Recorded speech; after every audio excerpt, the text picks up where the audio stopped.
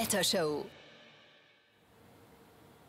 Willkommen zur Wettershow und wir blicken natürlich auch auf das Wetter von heute. So sieht es aus.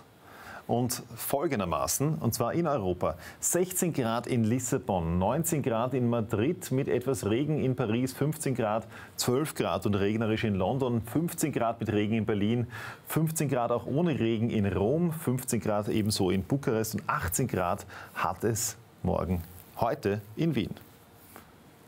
Dann der Blick hier auch noch in Österreich. 14 Grad in Bregenz bewölkt, 18 Grad in Innsbruck. Dann sehen wir 17 Grad in Lienz, 18 Grad auch in Klagenfurt, 19 Grad in Graz, 13 Grad in Salzburg, Linz und Zwettl.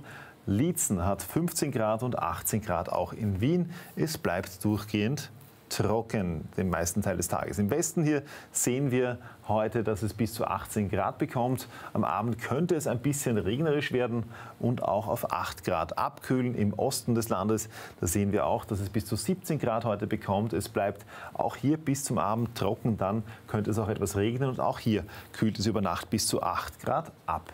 Der Blick auf die nächsten sieben Tage im Westen hier morgen etwas regnerisch, 13 Grad, es kühlt ab und dann vor allem Samstag 4 Grad. Da wird es so richtig kalt, bevor es nächste Woche dann wieder etwas wärmer wird, bis zu 18 Grad am Dienstag und dann am die nächsten sieben Tage im Osten. Auch hier morgen etwas regnerisch, am Wochenende auch etwas kühler.